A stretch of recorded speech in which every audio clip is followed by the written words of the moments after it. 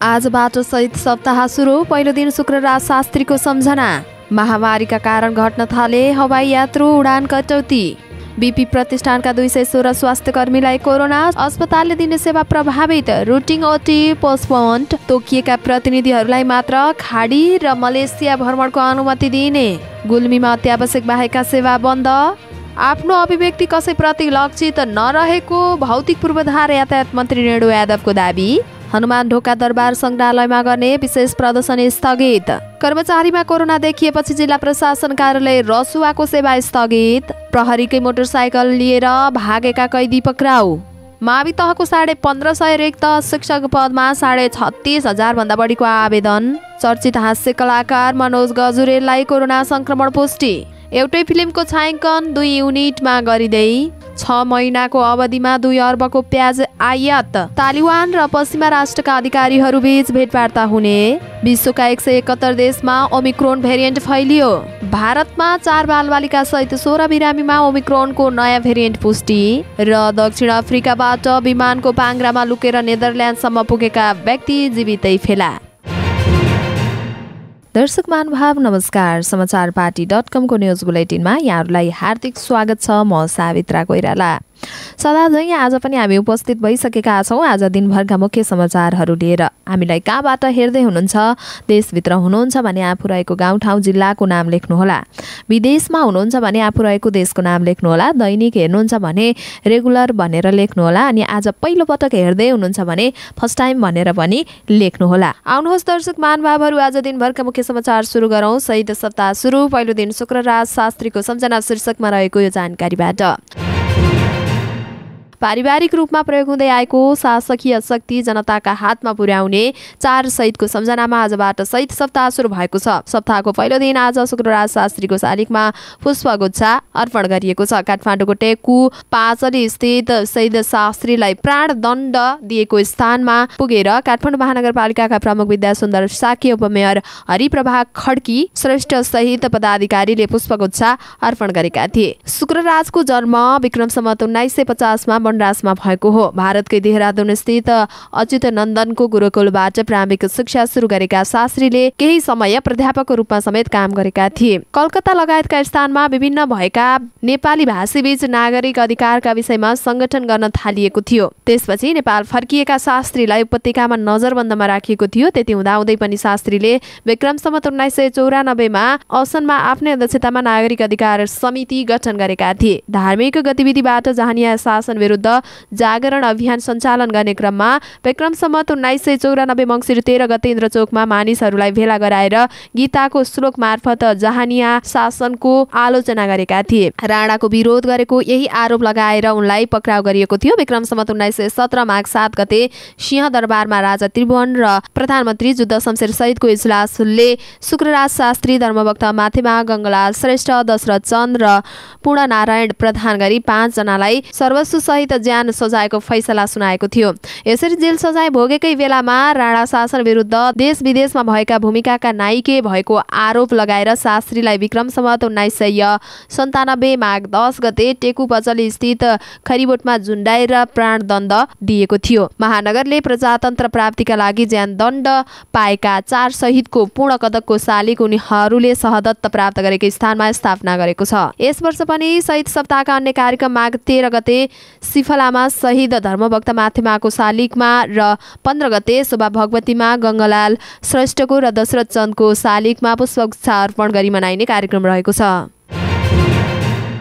Corona भाइरसको तेस्रो भेरिएन्टको फैलावटसँगै हवाई यात्रुको सङ्ख्यामा गिरावट आउन थालेको छ। यात्रु सँगसँगै वायु सेवा कम्पनीले उडान सङ्ख्या र हवाई भाडा समेत धमाधम कटौती गरिरहेको छ। त्रिभुवन विमानस्थल कार्यालयका अनुसार यो साता उडान सङ्ख्यामा दस प्रतिशतसम्म कटौती भइसकेको छ। दैनिक सत्तरी भन्दा माथि उडान गर्ने बुधयरको सोमबारका लागि चौसठी मात्रै उडान तालिका रहेको थियो। यति एयरलाइन्सले समेत सोमबार बाइस मात्रै उडान तालिका राखेको हो। सौर्य एयरलाइन्स त्यस्तै गरी श्री एयरलाइन्स तथा गुड एयरलाइन्सले समेत साबिकको तुलनामा उडान कटौती गरेका छन्। धरान स्थित बिपी कोइराला स्वास्थ्य विज्ञान प्रतिष्ठानका विभिन्न विभागका एकासी चिकित्सक सहित एक सय चौध नर्स सहित दुई सय सोह्रजना स्वास्थ्य कर्मीमा कोरोना संक्रमण पुष्टि भएको छ। यति धेरै संख्यामा चिकित्सक र नर्सलाई कोरोना संक्रमण भएपछि जनशक्ति अभावले उपचार सेवा प्रभावित भएको छ। नियमित शल्यक्रिया ओपिडी सेवा र वार्ड राउन्ड समेत प्रभावित भएको छ। संक्रमित हुने चिकित्सक नर्स र हेल्परको संख्या क्लिनिक क्षेत्रमा बढिरहेको छ। गृह मन्त्रालयले तोकिएको संस्थागत प्रतिनिधि र व्यक्तिहरूलाई मात्रै खाडी मुलुक र मलेसिया भ्रमणका लागि प्रस्थान अनुमति दिने भएको छ। कोभिड उन्नाइसको संक्रमण फैलिरहेका बेला खाडी मुलुक र मलेसियामा गई नेपाली बिचल्लीमा परेको गुनासो आएकाले आजबाट लागू हुने गरी अर्को आदेश नआएसम्मका लागि उक्त मुलुकको भ्रमणमा जान रोक लगाएको हो। तोकिएको निकायका प्रतिनिधिलाई मात्र भ्रमण भिसाका लागि प्रस्थान अनुमति दिने मन्त्रालयले जनाएको छ। सरकारी कामको सिलसिलामा जाने सरकारी कर्मचारी अन्तर्राष्ट्रिय कारोबार गर्ने बैङ्क तथा वित्तीय संस्थाका प्रतिनिधि एवं अन्तर्राष्ट्रिय राष्ट्रिय गैर सरकारी संस्थाका प्रतिनिधि संस्थागत कार्यका लागि मात्रै प्रस्थान अनुमति दिइनेछ नेपालमा सामान आयात निर्यात गर्ने प्रतिनिधि आयात निर्यातका लागि मात्र वार्षिक न्यूनतम छ लाख कर योग्य आय भई कम्तीमा पनि सोको आधा रकम ब्याङ्क खातामा जम्मा भएका र नेपालको कर प्रणालीमा आबद्धता भएका व्यक्तिलाई पनि भ्रमणका लागि प्रस्थान अनुमति दिने मन्त्रालयले जनाएको छ।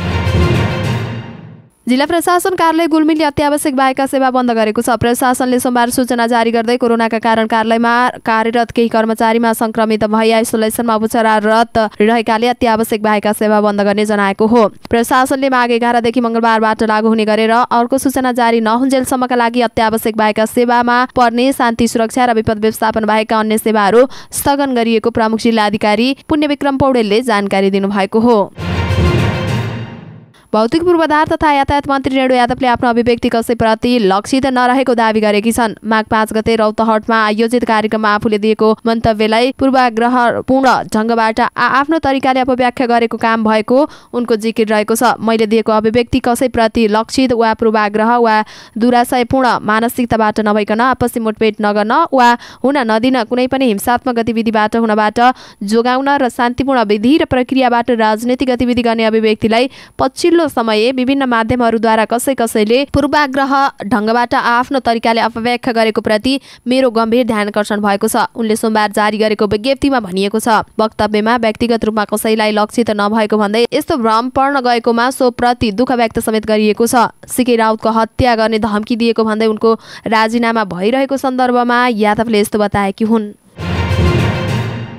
हनुमान ढोका दरबार सङ्ग्रहालय विकास समितिले यसै हप्तादेखि गद्दी बैठकको तल्लो तला सुरु गर्न लागेको एकीकरणदेखि लोकतान्त्रिक स्थापनासम्मका तस्विर प्रदर्शन स्थगित गरेको छ। समितिले माघको दोस्रो सातादेखि नेपाल एकीकरण अभियानमा पृथ्वीनारायण शाहले प्रयोग गर्नुभएका हात हतियार लगायतका दस्तावेज एवं प्रजातन्त्र स्थापना पुनस्थापना विभिन्न घटनाक्रम तस्विरको प्रतिलिपि प्रदर्शनमा राख्ने तयारी भएको थियो। नयाँ भेरिएन्टको कोरोना संक्रमण तीव्र बन्दै गएपछि गत शुक्रबार रातिदेखि सरकारले राजधानीका सबै सङ्ग्रहालय बन्द गर्ने निर्णय गरेको थियो। सङ्ग्रहालय समेत बन्द भएकाले अर्को सूचना नआएसम्मका लागि एकीकरणदेखि लोकतन्त्रसम्मका सामग्रीको प्रदर्शनी पनि स्थगित गरिएको हनुमान ढोका दरबार हेर्चा अड्डाका प्रमुख सन्दीप खनालले जानकारी दिए। जिल्ला प्रशासन कार्यालय रसुवाले आजदेखि सेवा प्रवाह स्थगित गरेको छ। कार्यालयका प्रायजसो कर्मचारीमा कोभिड उन्नाइसको संक्रमण देखिएकाले अत्यावश्यक सेवा बाहेक अन्य सेवाहरू स्थगित गरिएको प्रमुख जिल्ला अधिकारी नवराज जयश्रीले बताउनुभयो। जिल्लाको शान्ति सुरक्षा र विपद प्रतिकार बाहेक अन्य सेवाहरू दिनका लागि स्थगित गरिएको उहाँको भनाइ छ। नयाँ तथा प्रतिलिपि नागरिकता वितरण राहदानी तथा पासपोर्ट राष्ट्रिय परिचय पत्र नाबालक परिचय पत्र संस्था दर्ता तथा नवीकरण कार्यालयबाट हुँदै आएको मतदाता नावली सङ्कलनका कार्य बन्द गरिएको कार्यालयले जनाएको छ। रसुवामा अहिले उनासौजना सक्रिय सङ्क्रमित रहेको स्वास्थ्य कार्यालय रसुवाले जनाएको छ। घोराईको कारागारबाट गत पुस आठ गते भागेका कैदीलाई दाङ प्रहरीले पक्राउ गरेको छ। जिल्ला प्रहरी कार्यालय दाङका अनुसार कारागारबाट भागेका कर्तव्य ज्यान मुद्दामा जन्मकैद सजाय भोगिरहेका यमराज परियारलाई पक्राउ गरेको हो। जिल्ला प्रहरी कार्यालय दाङले पक्राउ परेका बारेमा जानकारी दिनका लागि पत्रकार सम्मेलनको आयोजना गरेको थियो। जिल्ला प्रहरी कार्यालय दाङबाट खटिएको प्रहरीको टोलीले सीमावर्ती क्षेत्र भारतबाट समातेको बताएको छ। कारागारका नाइके समेत रहेका एमराज भागेको प्रकरणमा कारागारका जेलर युवराज परियारलाई केही दिन हिरासतमा राखेर अनुसन्धान गरिए पनि कारागार विभागले भने अनुमति नदिएपछि पुस बाह्र गते पक्राउ परेका कारागारका जेलर युवराज परियार भने पुस सोह्र गते नै छुटिसकेका थिए। माध्यमिक तहको शिक्षा पदमा साढे छत्तिस भन्दा बढी आवेदन परेको शिक्षक सेवा आयोगले जनाएको छ। एक हजार पाँच सय बयालिस रिक्त शिक्षक पद पूर्तिका लागि खुल्ला गरेको विज्ञापनमा छत्तिस हजार पाँच सय बयासी जनाले आवेदन दिएको आयोगले जनाएको हो। माघ आठ गतेसम्म मावि तहको शिक्षक पदको लागि आवेदनको समय अवधि तोकिएको थियो। आयोगको अनुसार मावि तहमा शिक्षण सेवाका लागि एक लाख चौवालिस हजार तिन सय एकासीजनाले लाइसेन्स लिएका छन्। निमावि तहको पुस सात गते खुलाइएको दरबन्दीमा सतासी हजारभन्दा बढी र प्रावि तहमा आयोगले अन्ठानब्बे हजार बढीले आवेदन दिएको जनाएको छ। निमावि तहमा दोबर दस्तुर सहित पन्ध्र गतेसम्म आवेदन भर्न सकिनेछ। प्राविका लागि भने यही तेह्र गतेसम्म नियमित र चौध गतेदेखि बिस गतेसम्म दोब्बर शुल्क तिरेर फारम भर्न सकिने व्यवस्था रहेको छ। निमावि तहको शिक्षण सेवाका सेवाका लागि तिन लाख सत्तरी हजार बाह्रजनाले र प्रावि तहको शिक्षण सेवाका लागि दुई लाख दुई हजार सात सय बाह्रजनाले लाइसेन्स लिएको आयोगका प्रवक्ता सुदर्शन मरहट्टाले जानकारी दिएका हुन्। आयोगले मावि तहको शिक्षक पदको चैत पन्ध्र गते निमावि तहको चैत सत्र गते र प्रावि तहको चैत उन्नाइस गते परीक्षा लिने मिति तोकेको छ। चर्चित हास्य कलाकार मनोज गजुरेललाई कोरोना संक्रमण पुष्टि भएको छ। गजुरेलले आफूलाई कोरोना संक्रमण भएको सामाजिक सञ्जाल मार्फत जानकारी दिएका छन्। गजुरेलले सामाजिक सञ्जालमा लेखेका छन् पहिले जस्तो सातो लिने र दोस्रो जस्तो ज्यानै लिने चाहिँ होइन तर थला चाहिँ राम्रैसँग पार्दो रहेछ। ढुक्कसँग उपचार गरौँ केही नहुन्जेल केही पनि हुँदैन। उनले कोरोनाको तेस्रो भेरिएन्ट ओमिक्रोनबाट होम आइसोलेसनमा बसेका र आइसियुमा पुगेका सबैको स्वास्थ्य लाभको कामना समेत गरेका छन्। गजुरेललाई यसअघि पनि कोरोना संक्रमण पुष्टि भएको थियो। उनी केही समय अस्पताल बसेर डिस्चार्ज भएका थिए। कोरोना संक्रमण दर बढेसँगै सरकारले फिल्म हल बन्द गरे पनि छायाङ्कन भने रोक लगाएको छैन। स्वास्थ्यका मापदण्ड अप्नाएर पच्चिस जनाको मापदण्ड पालना गर्दै फिल्म छायाङ्कन गर्न सकिने विकास बोर्डले जनाएको छ। कोरोनाको तेस्रो लहरको हल्ला सँगसँगै लगानीमा जोखिम भएको भन्दै फिल्मले आफ्नो छायाङ्कन स्थगित गरेका छन्। ठुला बजेटमा निर्माण हुने भनेर धेरै अगाडिदेखि हल्ला गरिएका फिल्म एक्सन नाइन र सत्यम अझै पनि छायाङ्कनमा निस्कन सकेका छैनन्। फिल्म बन्ने नबन्ने भन्न सकिने अवस्था छैन। यस्तैमा ठुलो बजेटमा निर्माण हुन लागेको फिल्म लागे भने अहिले काठमाडौँमा धमाधम छायाङ्कन भइरहेको छ। थुप्रै स्टारहरूले भरिएको यो फिल्मको गत पुसको अन्त्यबाट छायाङ्कन सुरु भएको हो। भव्य शुभ मुहुर्त गर्दै छायाङ्कन सुरु गर्ने तयारीमा रहेको फिल्मको कोरोनाका कारण सामान्य ढङ्गबाट छायाङ्कन सुरु गरिएको निर्देशक सम्राट बस्नेतले बताए भव्य शुभ मुहूर्त गरेर फिल्म फ्लोरमा लाने तयारी हाम्रो थियो तर कोरोनाको बढ्दो संक्रमणले गर्दा सरकारले पच्चिसजना भन्दा बढीलाई एकै स्थानमा सहभागी हुन रोक लगायो। निर्देशक बस्नेतले भने कोरोनाका कारण हामीले सीमित कलाकारहरूको उपस्थितिमा मन्दिरमा पूजा गर्दै छायाङ्कनको सुरु गर्यौँ। फिल्म युनिट धेरै भएकाले पनि अहिले दुई युनिट बनाएर फिल्मको छायाङ्कनको काम गरिरहेको निर्देशक बस्नेतको भनाइरहेको छ। चालु आर्थिक वर्ष अठहत्तर उना असीको छ महिनामा भारतबाट करिब दुई अर्बको प्याज आयात भएको छ। यो वर्षको साउनदेखि पुससम्ममा भारतबाट उक्त मूल्यको प्याज भित्रिएको भन्सार विभागले जनाएको छ। यस अवधिमा भारतबाट आठ करोड दुई लाख बयासी हजार किलो आयात भएको जनाइएको छ। यस बापत आयातकर्ताहरूले छब्बिस करोड बैसठी लाख रुपियाँ भन्सार राजस्व सङ्कलन भएको छ। हरेक वर्ष नेपालले भारतबाट अरबौँ रुपियाँको खाद्यान्न आयात गर्दै आइरहेको छ। प्याज सहित लसुन अदुवा आलु गोलबेडा लगायतका दैनिक दैनिक उपभोग्य वस्तु समेत ठूलो परिणाममा भारतबाट भित्रँदै आएको विभागले जनाएको छ। तालिबान र पश्चिम राष्ट्रका अधिकारी बीच भेटवार्ता हुने भएको छ। अफगानिस्तानको सत्ता तालिबानमा आए लगत्तै पहिलोपटक युरोपमा वार्ता हुन लागेको हो। नर्वे तालिबानका सदस्य र पश्चिम राष्ट्रका अधिकारीहरू बीच छलफल हुन लागेको बिबिसीले जनाएको छ। तीन दिनसम्म हुने भनेको वार्तामा अफगानिस्तानमा मानव अधिकार तथा मानवीय सङ्कट सम्बन्धमा छलफल हुनेछ। त्यस्तै गरी संयुक्त राष्ट्र सङ्घका अनुसार अफगानिस्तानका पन्चानब्बे प्रतिशत नागरिकहरूले पर्याप्त मात्रामा खाना नपाएको जनाइएको छ। बैठकको विरोध गर्दै युरोपका विभिन्न मुलुकमा भने प्रदर्शन भइरहेको भएको छ। विश्वका एक सय एकहत्तर देशमा कोरोना भाइरसको ओमिक्रोन भेरिएन्ट फैलिएको पाइएको छ। विश्व स्वास्थ्य सङ्गठन डब्लुएचओले यो भेरिएन्ट अझै पनि तीव्र गतिमा फैलने क्रममा रहेको जनाएको छ। यस्तै यसअघि कोरोना भाइरसको सङ्क्रमण भएकाहरूलाई पनि ओमिक्रोन भेरिएन्टको सङ्क्रमण पुष्टि भएको पाइएको छ।